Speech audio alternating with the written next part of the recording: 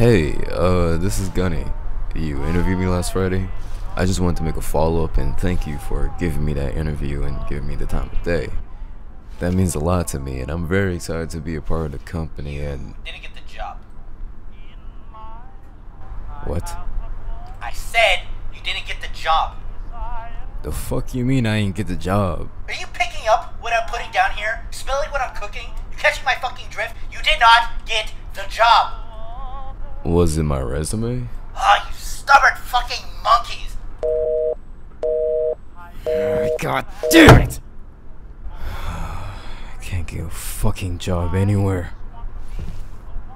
I guess I don't have very many choices now, do I?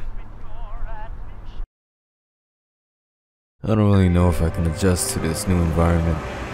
Or should I say habitat, because sometimes I feel like I'm in a zoo. Well, a zoo, but the animals are less cool and sometimes Hey, very weird looking and insufferable. So Bosworth can't make it to the orgy, huh? But at least you got me, and that one faggot from down the street. Either way, I'd kill for a decent living. Uh, uh, huh? Where the hell is the bus at? Ugh, this sucks. No phone, no money, no bus. Ugh. Huh?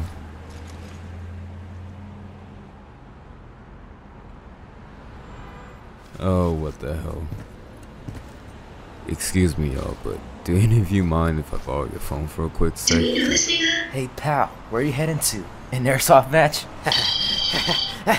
I just want to call a cab. Why don't you buy a car, nigga? Are you even allowed to say that? I can say whatever I want, You better get lost, monkey boy, Fuck you mean I better get lost? before I punch you in the throat. Yeah, punch him in the throat. What the hell did I even do? Hate you people! I didn't do anything!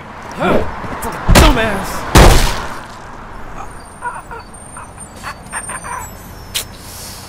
Yikes. Uh, so I was actually waiting on the bus. So I guess I don't need your phone anymore. Anyway, my bad, I guess.